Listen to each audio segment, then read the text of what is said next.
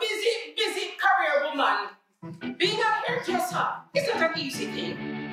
I've had this shop for over 20 years now.